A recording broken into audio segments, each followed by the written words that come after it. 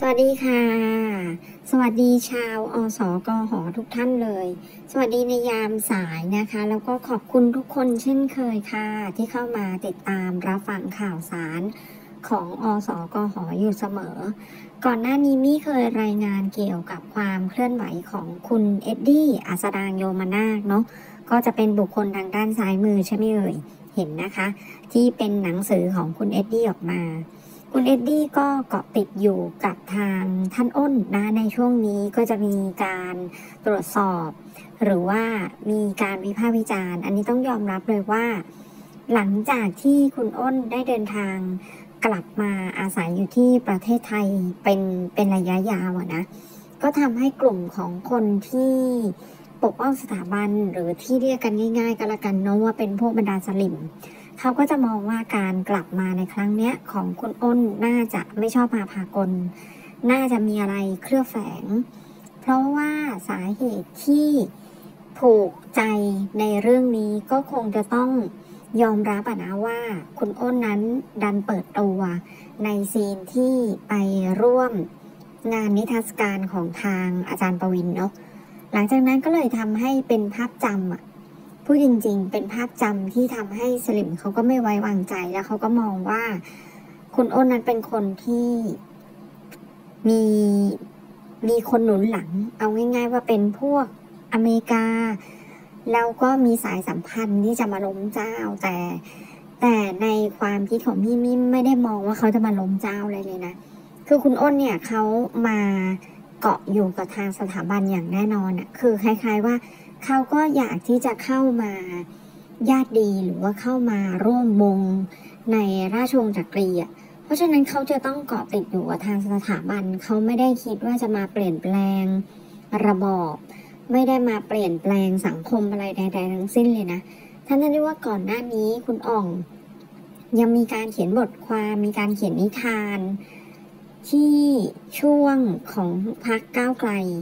ได้รับการเลือกตั้ง แต่ทางคุณพิธาก็ไม่ได้เป็นนายก ช่วงนั้นยังมีการเขียนนิยายขึ้นมาเลย แล้วก็มีแนวโน้มว่าเหมือนจะเห็นด้วยกับทางพรรคก้าไกลซะด้วยซ้ำแต่หลังจากที่ตัวเองได้เดินทางเข้ามาในประเทศไทย มีโปรเจกต์ที่จะมาทำระยะยาวนี้ประเทศไทย ก็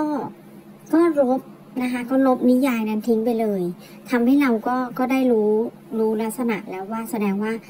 คุณอ่องก็ ก็คงจะคิดว่าเออถ้าเขาต้องกลับมาอยู่ที่เมืองไทย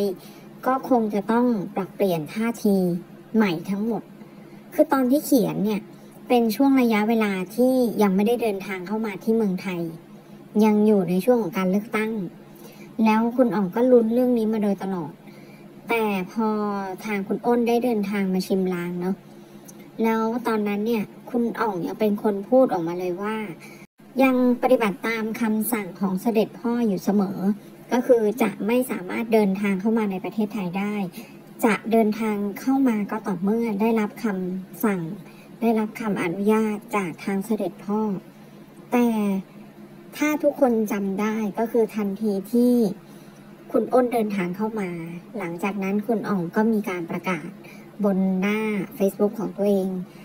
แต่หลังจากนั้นไม่นานคุณอ่องก็มาปรากฏตัวที่เมืองไทย ถ้าจำไม่ผิดตอนนั้นได้เดินทางไปสมทบกับคุณอ้นที่จังหวัดพระนครศรีอยุธยา เป็นช่วงที่คุณอ้นได้ลั่นวาจาไว้ว่าขอไปแบบเป็นการส่วนตัว คือจะไม่ให้พวกนักข่าวอะไรไปทำหรือว่าติดสอยห้อยตาม ก็คือบอกว่าจะไปเป็นการส่วนตัวนะ ก็ปรากฏว่ามีซีนที่ คุณอ่องตามไปสมทบ ทีนี้มันก็ยิ่งชัดเจนเข้าไปกันใหญ่เลยว่า จากอเมริกาถ้าจะเดินทางเมืองไทยเนี่ยมันต้องใช้ระยะเวลาหนึ่ง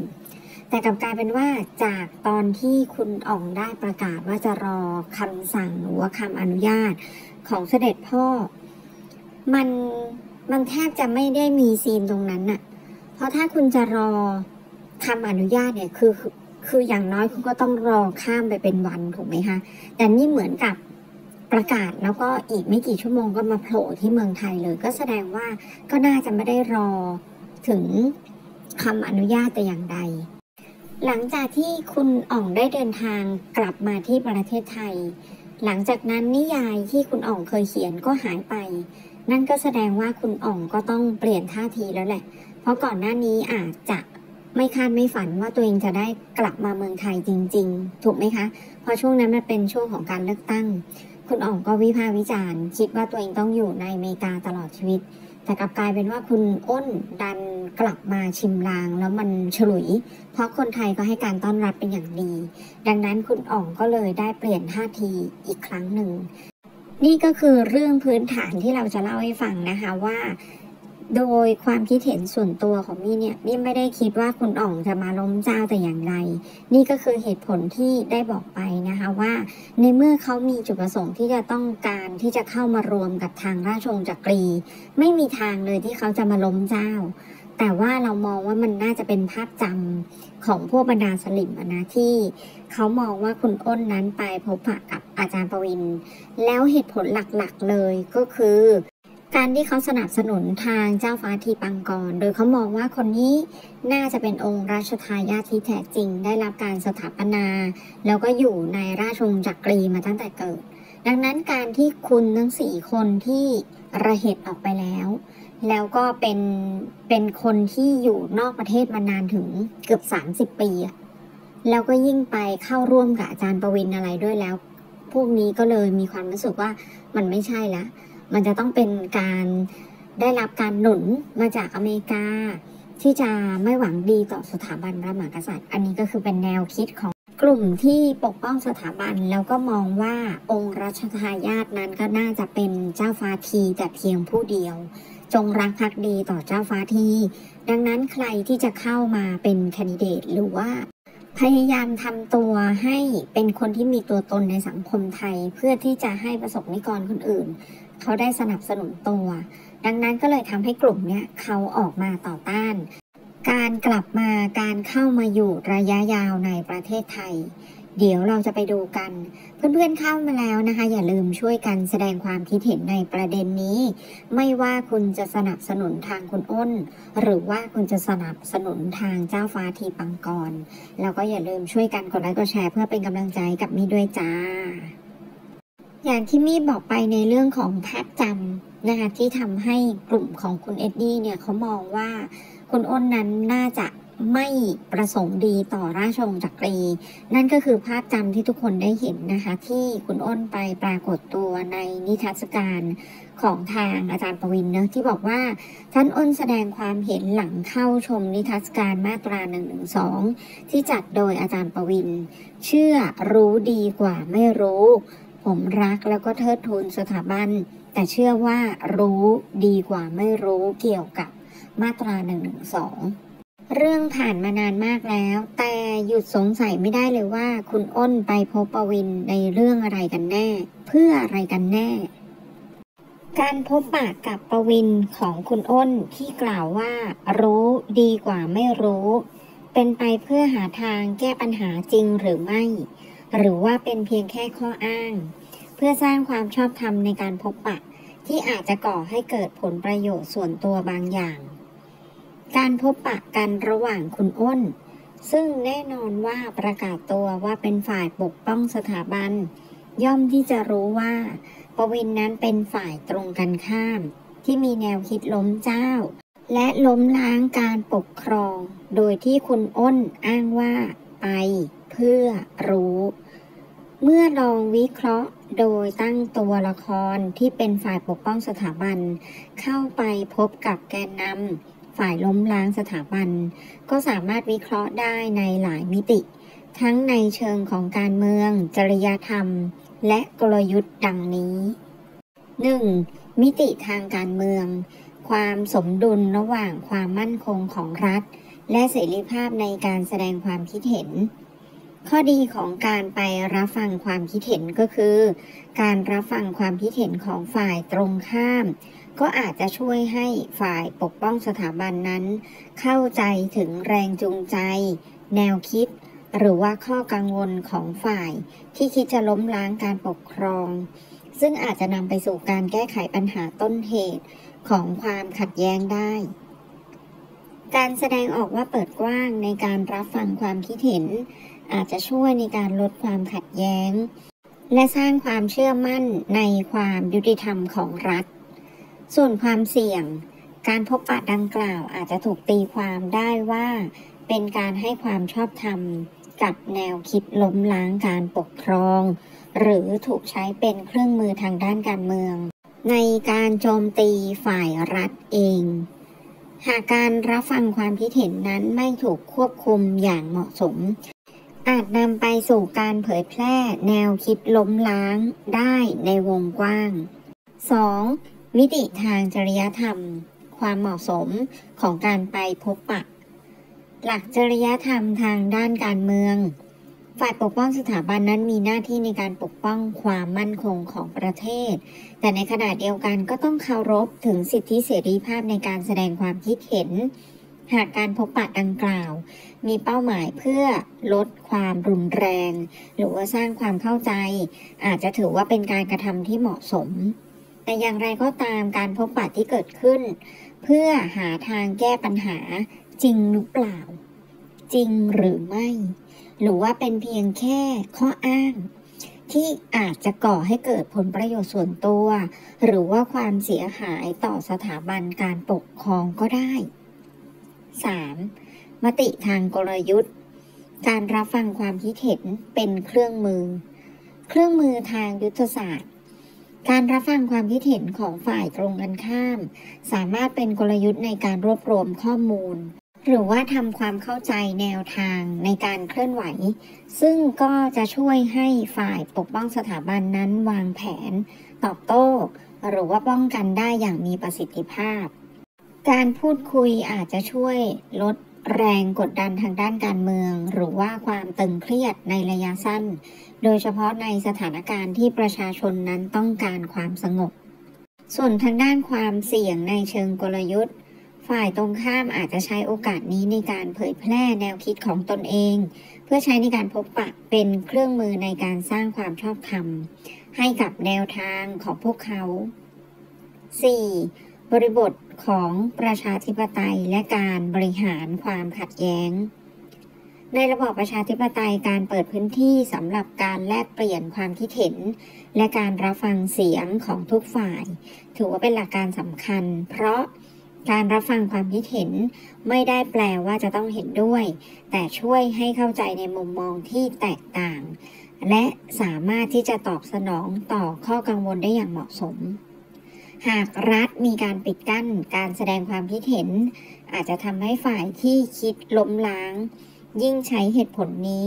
ในการเพิ่มแรงสนับสนุน หรือว่าเพิ่มความชอบธรรมให้กับตนเองก็ได้ ในกรณีนี้ การบริหารความขัดแย้ง เป็นกุญแจสำคัญ ที่จะต้องใช้ความสมดุล ระหว่างการเปิดกว้าง และการรักษาความมั่นคงของรัฐ ส่วนสำหรับข้อสรุป คุณเอ็ดดี้ได้มองว่าการพบปะของฝ่ายปกป้องสถาบัน กับฝ่ายที่มีแนวคิดที่จะล้มล้างการปกครอง สามารถเป็นเครื่องมือที่ทรงพลัง ในการบริหารความขัดแย้งและสร้างความเข้าใจ หากดำเนินการอย่างโปร่งใสและมีเป้าหมายที่ชัดเจนเพื่อรักษาความสงบ และลดแรงกดดันทางด้านการเมือง แต่อย่างไรก็ตามหลังจากการพบกันของคุณอ้น ซึ่งได้ประกาศตนว่าอยู่ฝ่ายปกป้องสถาบันกับอาจารย์ประวิน แกนนำคนสำคัญของฝ่ายล้มเจ้า คุณอ้นไม่ได้มีการสารต่อหรือว่าดำเนินการใด ๆ ตามข้ออ้างว่ารู้ดีกว่าไม่รู้ พอจะนึกกันออกไหม ขอยกตัวอย่าง หากโจรปล้นธนาคาร โดนตำรวจล้อมจับ แต่โจรมีแต้มต่อ จากการควบคุมตัวประกัน ฝ่ายตำรวจจึงส่งคนเข้าไปเจราจากับโจร ซึ่งเป็นไปในลักษณะของการรู้ดีกว่าไม่รู้ คือไปพบกับโจร เพื่อที่จะได้ทราบว่าอะไรคือแรงจูงใจในการปล้น ต้องการอะไร อะไรคือทางออกของปัญหา แต่หลังจากที่พบกันแล้วตำรวจหรือว่าตัวแทนที่เข้าไปพบโจร ไม่ได้กลับมาให้ข้อมูล หรือว่าดำเนินการใด ๆ กับข้อมูลที่อ้างว่าเข้าไปล้วงข้อมูล ย่อมที่จะทำให้เกิดคำถามว่า การพบปะที่เกิดขึ้น เพื่อหาทางแก้ปัญหาจริงหรือไม่ หรือว่าเป็นเพียงแค่ข้ออ้างที่อาจจะก่อให้เกิดผลประโยชน์ส่วนตัวบางอย่าง หากพิจารณาตามหลักการทางด้านการเมือง และรัฐศาสตร์ การพบปะกับฝ่ายที่มีแนวคิดล้มล้าง การปกครอง โดยที่ไม่ได้มีการนำไปต่อยอดนำผลจากการพบปะมาดำเนินการต่อ เช่น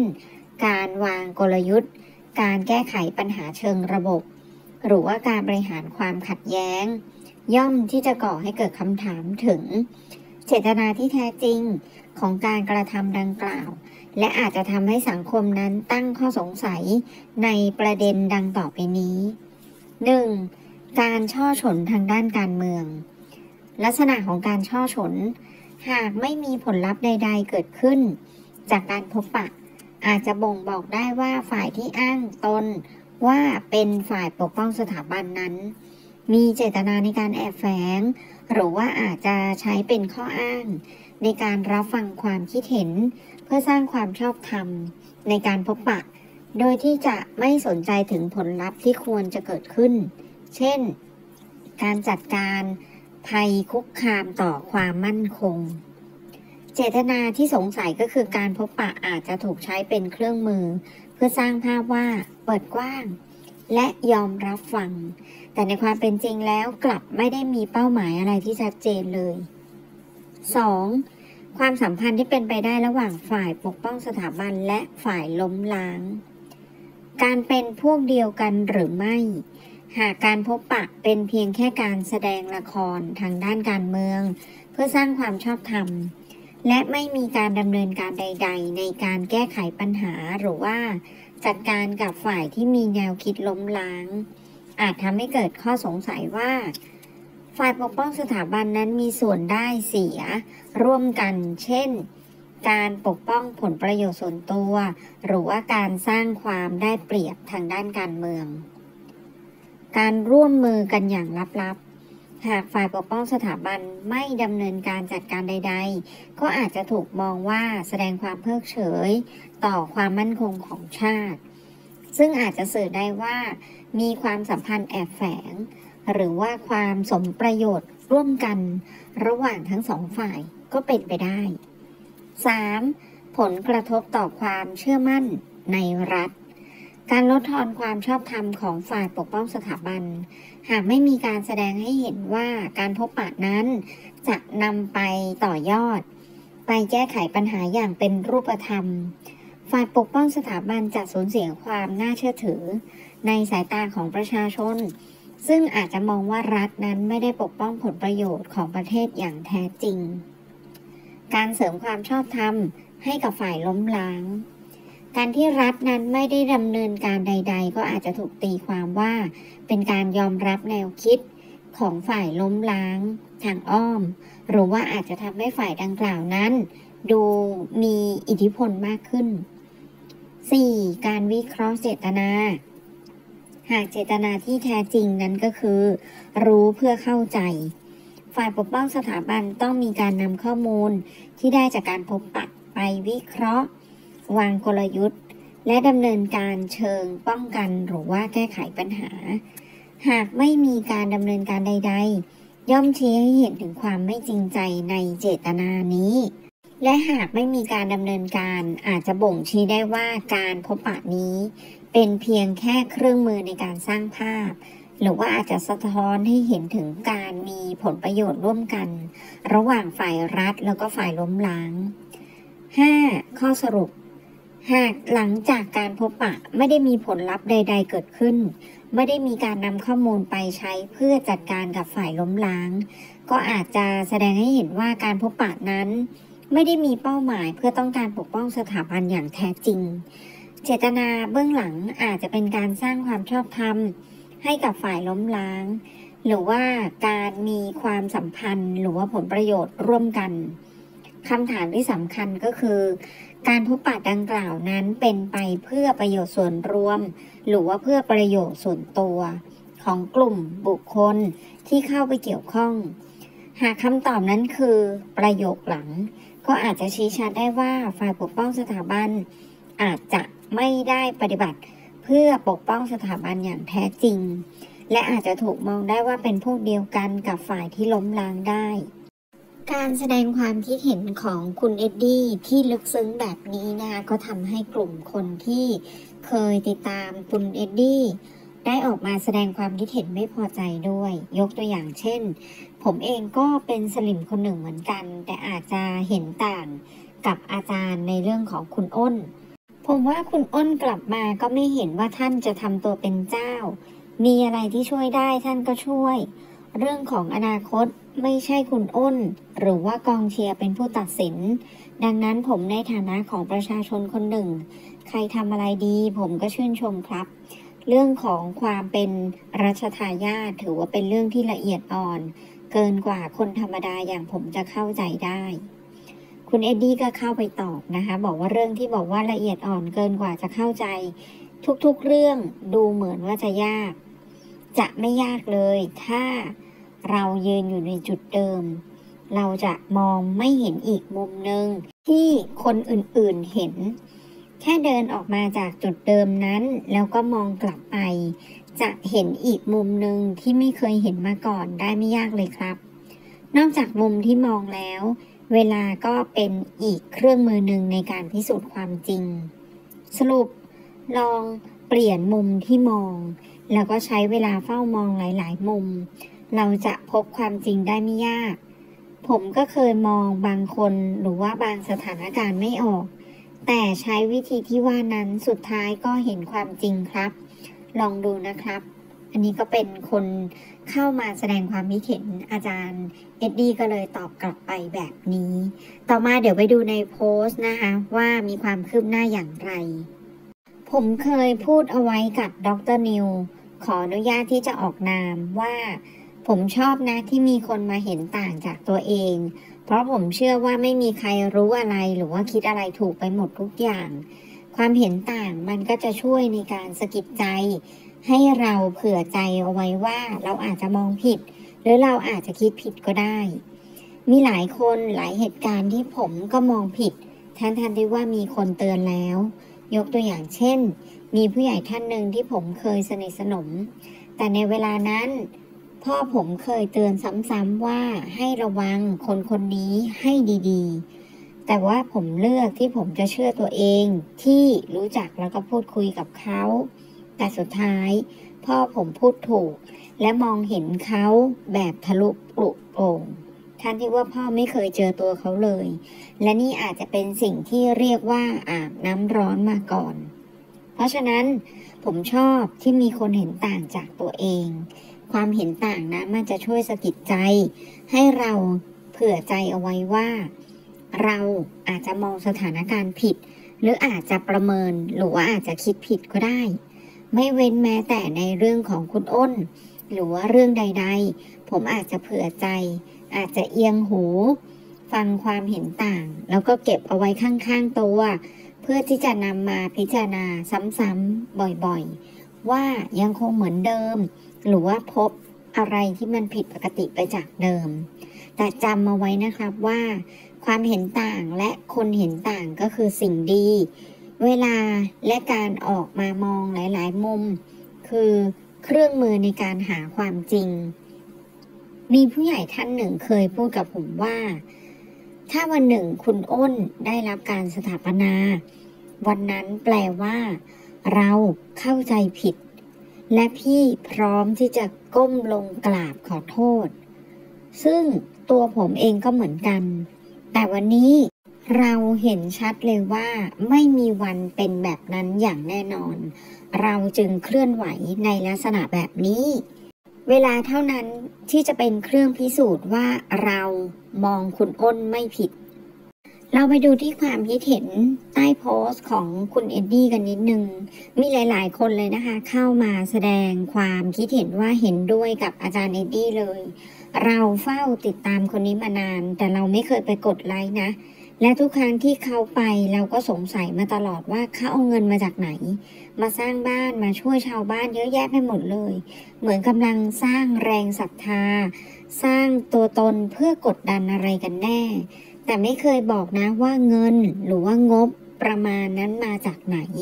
เพราะถ้ามาจากสถาบันเขาก็ควรที่จะพูดออกมาได้นะ เราว่า